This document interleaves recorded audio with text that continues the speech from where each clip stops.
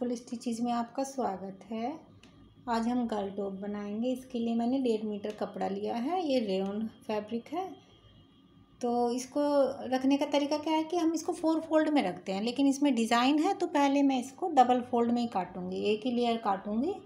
उसी हिसाब से मैं इसको हिप राउंड के हिसाब से इसकी चौड़ाई लेते हुए इसको अलग कर लूँगी डिज़ाइन के हिसाब से। तो ये मैंने इसका एक पार्ट अलग कर लिया है। उसी हिसाब से अब हम इसकी नाप लेते हैं इसको। तो ये ऊपर निशान लगाऊँगी मैं। ऊपर कंधे का जो निशान होता है वो साढ़े छः इंच पर लेंगे हम। और ढाई इंच पर मैं लगाऊँगी इसके गले का निशान। इसी तरीके से ऊपर से नीचे शोल्डर का निशान भी हम साढ़े छः इंच का लेंगे। इस तरीके से अब हम ब्रेस्ट का निशान लगाएँगे। वो क्या होता है कि जितनी हमारी ब्रेस्ट है, जैसे कि हमारी थर्टी टू है तो उसको फोर से डिवाइड करेंगे और उसमें टू इंच प्लस कर देंगे मार्जिन के लिए। तो ये टेन इंच हो गया है हमारा। अब हम सेवन इंच पर एक निशान लगाएँगे और उसके नीचे सेवन इंच पर एक और निशान लगाएँगे। इस तरीके से तो ये हमारा वेस्ट का निशान मार्क होगा। तो हमारी वेस्ट है ट्वेंटी फोर तो उसको फोर से डिवाइड करेंगे तो सिक्स आ जाएगा और उसमें टू इंच मार्जिन के लिए ऐड करेंगे। तो हमारा एट इंच पर निशान लगाएँगे हम। इसी तरीके से हिप राउंड है हमारा थर्टी फोर तो उसको फोर से डिवाइड करा तो एट पॉइंट फाइव आ जाएगा और उसमें टू इंच प्लस कर देंगे। तो हमारा साढ़े दस इंच मतलब टेन पॉइंट फाइव इंच हो जाएगा हिप राउंड तो इसको सीधा मिला लेते हैं। इस तरीके से गोलाई देते हुए इसको हम मिला लेंगे।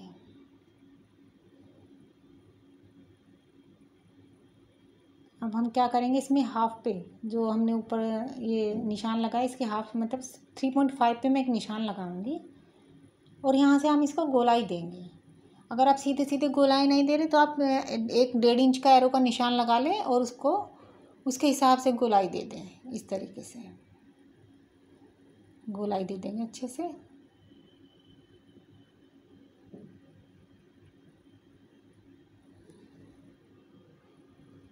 अब हम क्या करेंगे? गले का निशान लगाएँगे। टू एंड हाफ़ इंच पर मैं ये निशान लगाऊँगी। और two and two and half inch पर ही इधर से लग, निशान लगाऊँगी। एक इस, एक बॉक्सा बना लेंगे हम।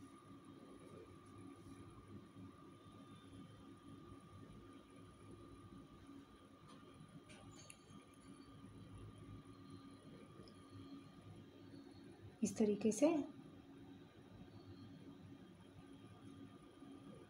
अब इसको गोलाई देते हुए मिला लेंगे। तो ये हमारा बैक साइड का गला बन जाएगा। इस तरीके से। अब हम क्या करेंगे? शोल्डर पर हाफ़ इंच का एक निशान लगाएँगे इस तरफ़, नीचे की तरफ़। और उसको तिरछा मिला देंगे। इस तरीके से।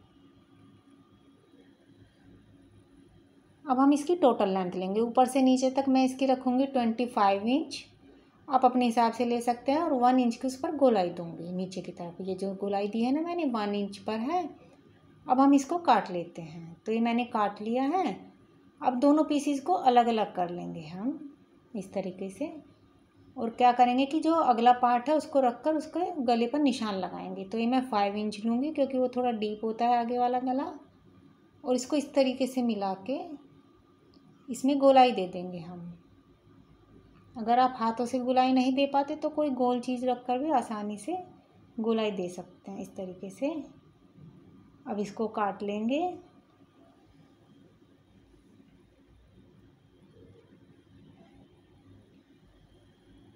अब हम शोल्डर पर निशान लगाएँगे।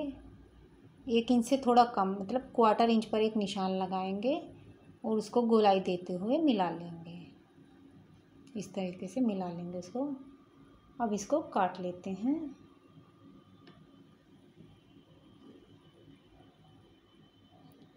तो ये मैंने काट लिया है। अब हम इसकी स्लीव्स तैयार करेंगे। स्लीव्स के लिए मैंने ये सेवनटीन इंच लंबा और सेवनटीन इंच चौड़ा कपड़ा लिया है। ये फ्लावर्स की वजह से मैंने अलग अलग लिया है, लेकिन दोनों बाजू का हम एक साथ भी ले सकते थे। Thirty four inch into twenty seventeen inch तो ये हमारा सेवनटीन इंच तैयार करना है तो उतना ही लिया है मैंने। और इस तरफ़ तरफ़ से एट इंच जो कंधे का निशान शोल्डर का निशान है, वो मैं एट इंच इसकी चौड़ाई लूँगी। अब क्या करना है, इधर से ढाई इंच पर एक निशान लगाएँगे। और इस निशान के नीचे पाँच इंच पर फाइव इंच पर एक निशान लगाएँगे। इस तरीके से।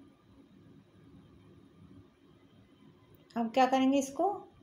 डेढ़ इंच पर एक और निशान लगाएँगे और सीधा मिला देंगे। मतलब गहराई में डेढ़ इंच पर निशान लगाएँगे। वैसे आप अपनी बाजू के हिसाब से इसको कम ज़्यादा कर सकते हैं। इस तरीके से इसको मिला देंगे। अब इसको सीधा भी निशान लगा लेंगे हम। जहाँ से हमने मोड़ा था, वहाँ से वहाँ तक। इस तरीके से। अब क्या करना है कि ऊपर गोलाई दे देनी है हमें। इस तरीके से घुमाते हुए गोल कर लेंगे।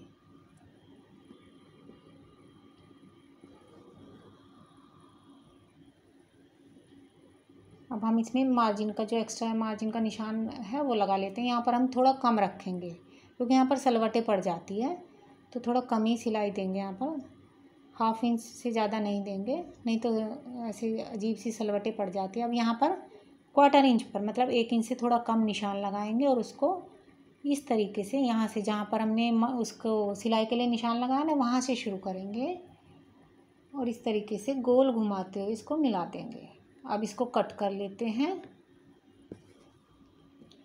और नीचे से मैं हाफ़ इंच की थोड़ी राउंड शेप भी दे दूँगी इस पर बाजू पे, जिससे कि देखने में और भी अच्छी लगेगी। पहले इसको कट कर लेते हैं। इस तरीके से। अब इसको अलग करके जो हमने ये क्वार्टर इंच पर निशान लगाया था ना, इसको काट लेंगे एक साइड से। बंद बंद में नहीं काटेंगे, अलग करके काटेंगे। और ये गोलाई भी मैंने दे लिए तो हमारी बाजू तैयार है, अब हम इसकी सिलाई करेंगे। तो क्या करेंगे, उल्टा रखेंगे दोनों पीस को और शोल्डर से शोल्डर अटैच करके इस तरीके से पकड़ेंगे और सिलाई दे देंगे। तो ये सिलाई मैंने लगा ली है। अभी डेढ़ इंच चौड़ी पट्टी ली है। इसको इस तरीके से फोल्ड करेंगे सीधा करके। इस तरीके से अंदर की तरफ़ उल्टा होगा और सीधी तरफ़ इसको सील लेंगे। थोड़ी सी जगह खुली छोड़ लेंगे, पूरा नहीं सीलेंगे। वहाँ से इसको हम बाद में अटैच करेंगे। तो ये मैंने सील लिया है। तो जो एक्स्ट्रा पट्टी है उसको अब हम कट करेंगे और फिर उसको सील लेंगे। तो काट लेते हैं हमारा, जो भी थोड़ा बहुत एक्स्ट्रा पट्टी है उसको नाप कर। जितनी हमारे गले में फिट है उतनी रखेंगे और इस पर एक सिलाई लगा लेंगे उल्टी तरफ़। अंदर की तरफ़ एक सिलाई लगा के इसको भी अटैच कर लेंगे पूरा। तो हमारा गोलाई में अटैच हो जाएगा। अब छोटे छोटे कट लगा लेंगे अंदर की तरफ़, चारों तरफ़।